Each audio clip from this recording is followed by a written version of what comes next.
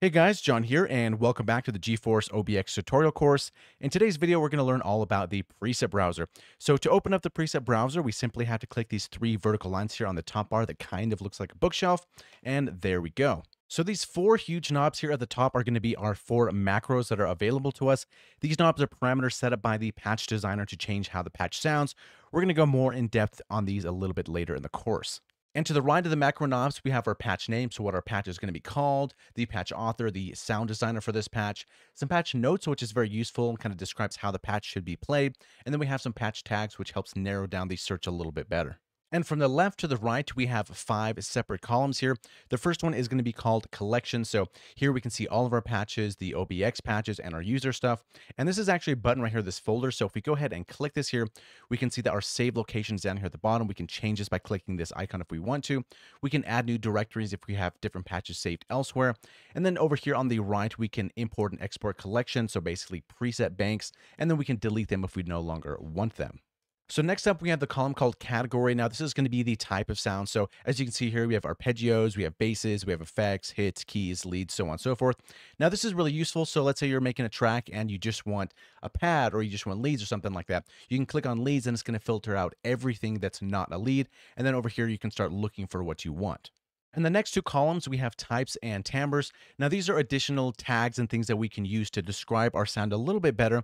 So that way, if you're looking for something, you can say, I want a lead that's maybe legato and maybe it sounds a little bit bright. And then we're going to have these patches here on the right-hand side to choose from that fit that type of category. We can also go for or right here. So we can click this here. So we can go types and timbres, types or timbres, and so on and so forth. So on the right hand side, we have our column of presets. And now further to the right, we have these little heart icons. We can click these if we like a certain patch and want to favorite it.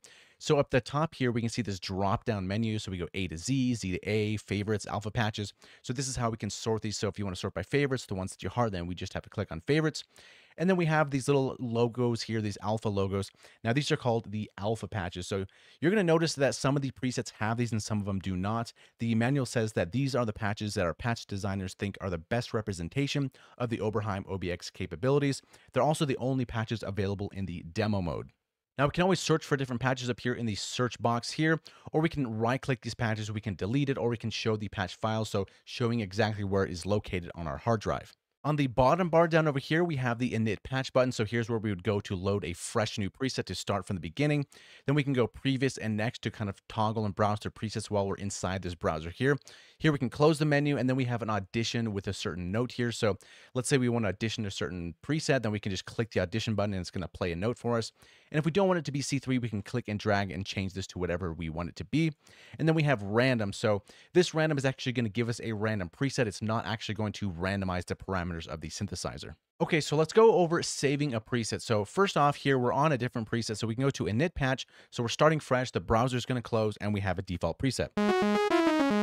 So let's make something real quick. Let's maybe drop this down an octave, maybe drop this down an additional octave, add some unison, give some detune, and open up our modulation. We're going to go over all this later on, but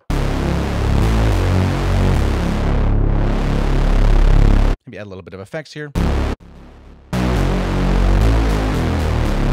Okay, so we have this patch and we want to save this thing.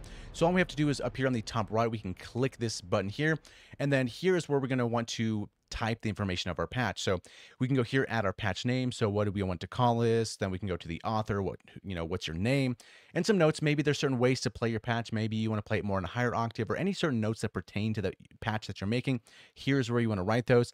And then here's where you want to name all your macros. Also down over here, so we can add new tags or categories or timbres or even a new collection tag. So here's going to be the spot if something here doesn't fit what you're actually wanting to do, then you can go ahead and add your own. But for example, we can put this in our user folder. We can say this is going to be a lead, for example. Maybe this might be, if we're looking here, something interesting. Let's go for unison because we did add some unison and maybe aggressive and maybe a little bit dark. So these are going to be the patches that describe this here. And then we can go down here to save and then it's going to open up our browser and then we can just save our patch. You're also also going to notice that we have this clear boxes button here. So this is useful in case we we have a preset that we're starting from, so maybe a different preset that's already made, and then we make a lot of different changes to it, and it kind of becomes this this new preset. And we go to save it, and we don't really want all these tags and these boxes, and it's kind of a pain to go ahead and delete everything. Let's say we change our macros.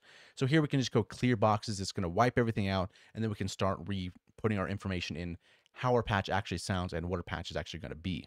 Another cool thing to know about is the quick save feature. So let's say we have a patch that we saved and we do some changes to it and maybe we want to just overwrite that patch. Quick save is going to be really nice for this. So if you're on a Mac, you would hold down command and then click the save button. On a Windows machine, you'd hold down control and click the save button as well. So the next button we should know about here on the top bar is going to be this maximize minimize view that has these two arrows pointing towards each other. Now your synth might look a little bit different, more compact. If that's the case, it's probably going to be this button here. So if we click this, it's going to be a little bit smaller. It's going to hide those extra features. But if we want to show them, we can click this again and it's going to maximize our view. The next button is going to be the settings menu. There's a gear icon over here on the top right. So in case you're looking for a certain setting or something to change within the synthesizer, you're probably going to find it in this menu. Now we're going to go a little bit more in depth in this course on this menu here when it's a little bit more relevant to the things that we're talking about. But I do want you to know that the settings menu is up here located on the top right. On the bottom left-hand side of the synthesizer, we see the tuning. Now, by default, this is going to be an A440. However, we can click and drag this all the way down to 430 hertz, or we can go all the way to the top here at 450. And to the right is going to be our tempo. Now, if you're using this in a DAW, this is only going to just display the tempo that we're at. However, if you're using the synth in a standalone, then here's where you can actually change the tempo. Now on the bottom right, we have this thing called CC. Now this is going to be the MIDI CC menu, and here's where you can assign different controls of the synth to different CC numbers via the MIDI learn. And once this is pressed, you can see here on the left-hand side, we can hit clear in case we want to wipe any previous assignments out and start from scratch. And to the right of this here, we have our undo and redo buttons, which are rather self-explanatory. And finally, on the bottom right corner here, these lines, we can hover our mouse over this and it's going to change our icon. And here we can resize our synthesizer to a size that's a little bit more comfortable for us to work in. All right, guys, well, that's it for now. In the next video, we're going to dive into the oscillators and a few other things as well. Thank you so much for watching. Hopefully you learned something, and we'll see you in the next video.